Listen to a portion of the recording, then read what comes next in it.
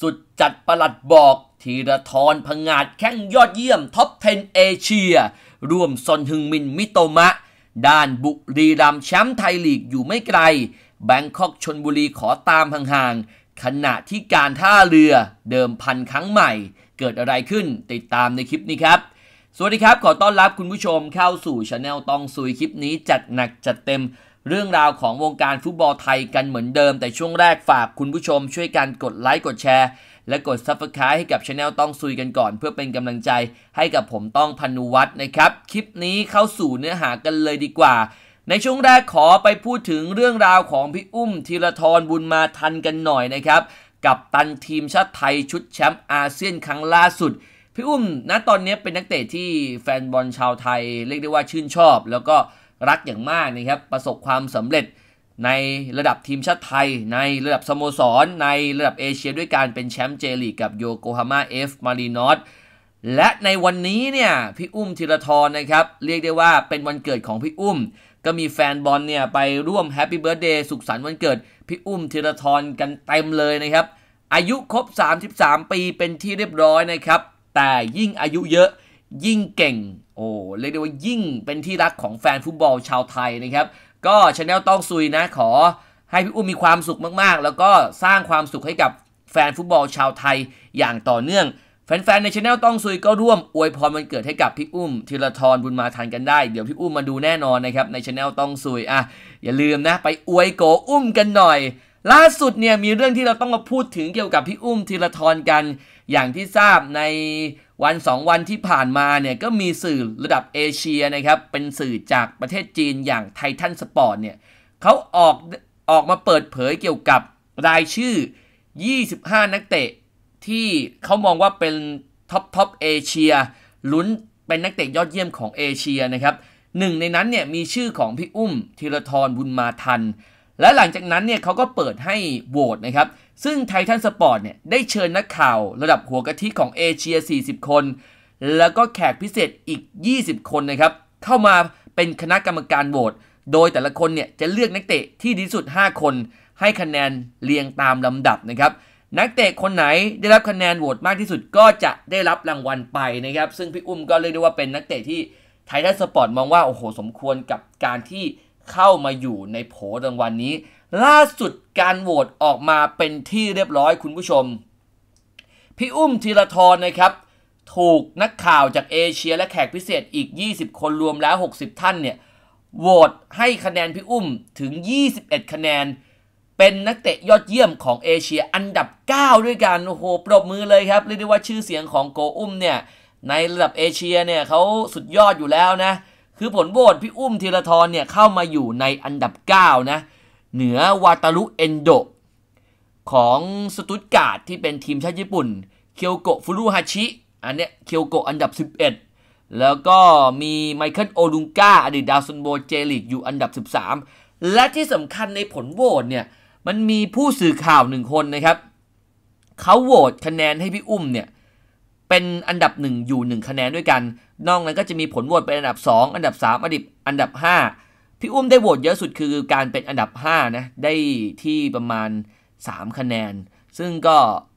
รวมทั้งหมดแล้วก็เป็น 21 คะแนนด้วยกัน โอ้โห เรียกได้ว่าพี่อุ้มธีรทรบุญมาทัน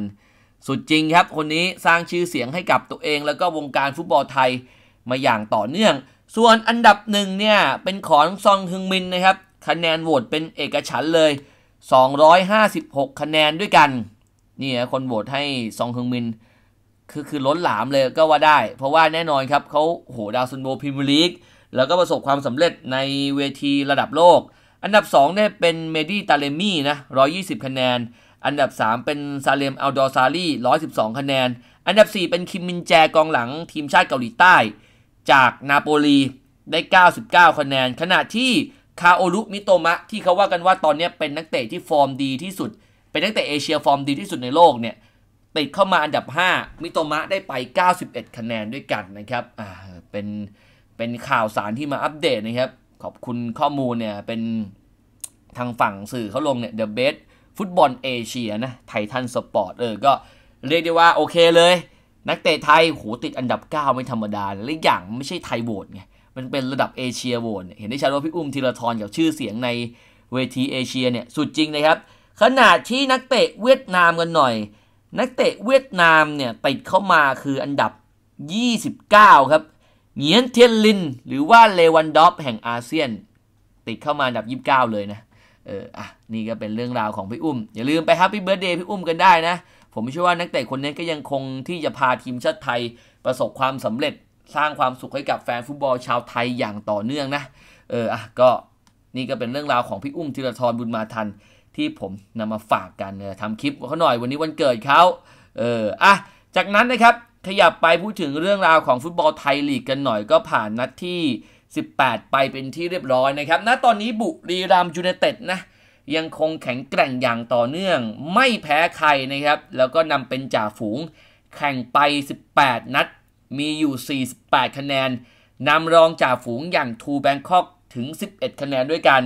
ซึ่งบุรีรัมย์ต้องยอมรับว่าคุณภาพของเขาอะดีจริง ๆ นะครับ ถึงแม้บางนัด ฟอร์มการเล่นอาจจะไม่ได้ perfect อะไรขนาดนั้นมีข้อที่ต้องปรับ แต่สิ่งหนึ่งที่บุรีรัมเขาเหนือกว่าทีมอื่น คือเรื่องของมาตรฐานครับ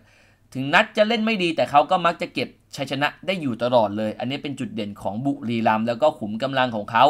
ค่อนข้างแข็งแกร่งทั้งตัวจริงและตัวสำรองนะครับ รวมไปถึงเนี่ยผมเชื่อว่าบุรีรัมเนี่ยตอนนี้โอกาสเป็นแชมป์สูงมาก และเขามองถึงการเป็นแชมป์ไร้พ่ายนะคือตอนนี้ทีมใหญ่เจอหมดแล้ว งานที่ยากของบุรีรัมผมมองว่าการไปเยือนแบงคอกน่าจะเป็นงานที่ยากสุดละในซีซั่นนี้พอแบงคอกก็ดูดีเหมือนกัน แต่ถ้าไปดูสถิติบุรีรัมเจอแบงคอกทีไรเนี่ยบุรีรัมมักจะทำได้ดีตลอดนะครับเพราะฉะนั้นบุรีรัมก็เป็นเต็งแชมป์โอกาส คว้าแชมป์มีสูงมากๆ ถ้าเกิดไม่มีอะไรผิดพลาดนะ เพราะนำตั้ง 11 คะแนนเนี่ยโหมัน 4 นัดนนะคุณผู้ชมที่บุรีรัมต้องแพ้หมด และทีมที่ได้มาต้องชนะหมด และถ้าดูจากบุรีรัมตอนเนี้ยคงจะแพ้คู่ต่อสู้ยากมากเพราะเขาอะโฟกัสทุกเกม และอีกอย่างเหมือนเขาเป็นการเตรียมทีมดีที่สุดเพื่อไปลุยระดับเอเชียนะครับนี่เป็นบุรีรัมย์อันดับ2แบงคอกมาเงียบๆแต่มานะนะครับ เพราะว่าโค้ชแบนคุมทีมเนี่ยก็รู้อยู่แล้วว่าต้องใช้งานนักเตะในรูปแบบไหน วานเดอร์เฮเบอร์ตี้มาห์มูดผมมองว่าเป็น 3 แนวรุกที่อันตรายอย่างมากคือแบงคอกเนี่ย ถ้าเกิดเราไม่ไปโฟกัสเขาอะเขาจะมีฟอร์มการเล่นที่ดี แต่เมื่อไหร่ที่เราไปโฟกัสกับแบงคอกเนี่ยแบงคอกมักจะหลุดเป็นอย่างนี้ตลอด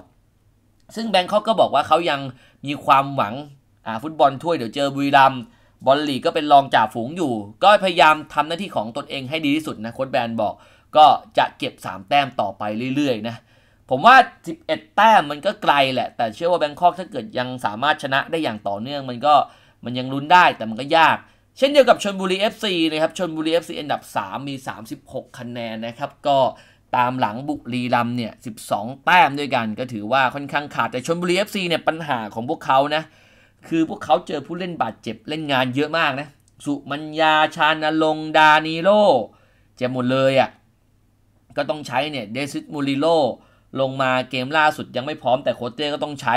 แต่ผมเซอร์ไพรส์นะที่ชลบุรีขึ้นมาอยู่ถึงตรงนี้ได้อะด้วยงบประมาณต่างๆ แล้วผมมองว่าชนบุรี FC ก็ยังคงยึดหัวตารางได้ ระดับนี้แต่โอกาสลุ้นแชมป์ก็คงยากละ อีกหนึ่งทีมที่ต้องพูดถึงการคือการท่าเรือกับการเปลี่ยนแปลงในครั้งนี้นะครับ กับการที่แมตต์ฮอลแลนด์ไม่ได้ทำทีมต่อ มาใช้งานโค้ชโชคกล่าวเป็น head coach ทำงานร่วมกับโค้ชอันสุรพงษ์คงเทพ การเปลี่ยนแปลงในครั้งนี้ของการท่าเรือแฟนบอลก็ ก็รู้อยู่แล้วว่าท่าเรือจะเป็นแบบเนี้ยมักจะดึงคนเก่าๆ เข้ามาคุมทัพ แต่ผมว่าโค้ชโชคตอนคุมท่าเรือเขาก็พาทีมเป็นแชมป์เอฟเอคัพใช่ไหมแล้วผลงานเขาก็โอเคอยู่นะ แต่เพียงแค่ตอนนั้นเขามีปัญหากับบอร์ดบริหารสโมสรใช่ไหมเลยต้องแยกทางกันไป ไม่แน่การกลับมาท่าเรือครั้งนี้ของโค้ชโชค อาจจะทำให้ท่าเรือดูดีขึ้นก็ได้ หรือถ้าไม่ดีก็ต้องปลาย แล้วต้องเปลี่ยนใหม่ แต่ผมไม่รู้จริง ๆ นะ การท่าเรือกับการเดิมพันโค้ดอะบางทีผมก็อยากเห็นโค้ดที่โปรไฟล์แบบเท่ๆมาท่าเรือสักคนหนึ่งอะเพราะนักเตะเขาดีมากแล้วอะอยู่ที่ตัวโค้ดเลยอะใครเข้ามาก็ไม่ลงตัวสักที ลองจ้างโค้ดดีๆ อาจจะดีก็ได้ แต่ไม่แน่โค้ชโชคเนี่ยแหละอาจจะทำทีมท่าเรือประสบความสำเร็จก็ได้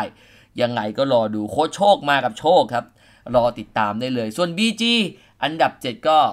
ก็ต้องบอกว่าปีนี้ก็หวังอะไรไม่ได้แล้ว หวังได้บอลถ้วย แต่ถ้าดูจากแมตต์สมิธแนวทางการทำทีมเหนื่อยเหมือนกัน ส่วนเมืองทองเนี่ยต้องเร่งฟอร์มหน่อยนะ เดือนกุมภาพันธ์เป็นเดือนที่ต้องบอกว่าเจอโค้ชทีมทั้งนั้นเลย ดูว่ามาเลโอจะพาทีมผ่านสถานการณ์ที่ยากลำบากได้ยังไง เพราะตัวผู้เล่นน่ะดีกว่าเล็กแรกมาก ๆ เลย ส่วนนี้ตกชั้นเนี่ยผมมองว่าลำปางกับหนองบัวเหนื่อยละเหนื่อยมากๆแล้วตอนเนี้ยโอกาสล่วงค่อนข้างสูง เพราะว่าเป็น 2 ทีมที่ตื้อ ลำพูนตั้งแต่กาม่ามาคุมเนี่ยจริงๆนะผมว่าเกมลุกลำพูนตื้อๆอะแล้วน่าเป็นห่วงนะ ถ้าเกิดยังยิงคู่ต่อสู้ได้น้อยอะโอกาสชนะมันก็ยากไงเออเดี๋ยวรอดูเช่นเดียวโคราชการเปลี่ยนแปลงเอาโค้ชโจกลับมา ก็อาจจะทำให้ทีมดีขึ้นก็เป็นไปได้ รอติดตามนะครับเรียกเดียวฟุตบอลไทยลีกยังคงสนุกและดูเด็ดเผ็ดมัน ติดตามกันได้ทุกสัปดาห์นะครับอะคลิปนี้ประมาณนี้ในช anel ต้องซุยฝากคุณผู้ชมนะครับช่วยกันกดไลค์กดแชร์และกด subscribe ให้กับช anel ต้องซุยกันด้วย เพื่อเป็นกำลังใจให้กับผมต้องพนุวัฒน์คลิปนี้ไปก่อนนะครับ เจอกันใหม่คลิปหน้า สวัสดีครับ